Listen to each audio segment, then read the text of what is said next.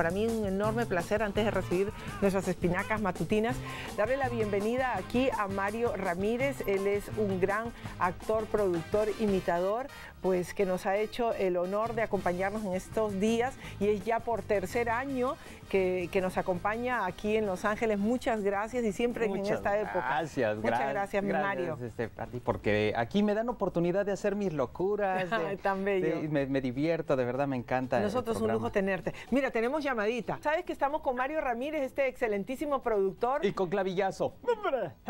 Un saludo para todos los que están allá en Utah. Mira, Clavillazo te está mandando saludos, hermano. Eh, eh, salúdalo a Clavillazo. Oh, sí, ¿cómo estás, Clavillazo? Dios te bendiga. Dios te bendiga. Mira, yo, ojo de chícharo, aquí la movida está a todo dar. Mira, pura vida.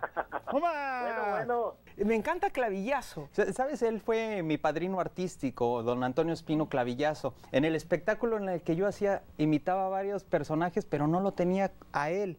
Y él iba a ver eh, el show y pues hasta le extrañaba. Y, me decían la persona que producía el espectáculo, oye, ¿no tienes a Clavillazo? Porque está ahí en primera fila, ya vino el señor.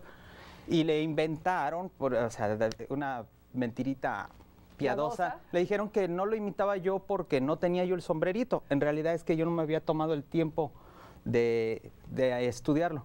Pues don Antonio se salió del teatro, fue, compró un, sombrerito y, me lo regaló. Este, Ay, mira qué honor. Es con el que había hecho un programa aquí con ustedes. Sí, ese, sí, sí. qué lindo.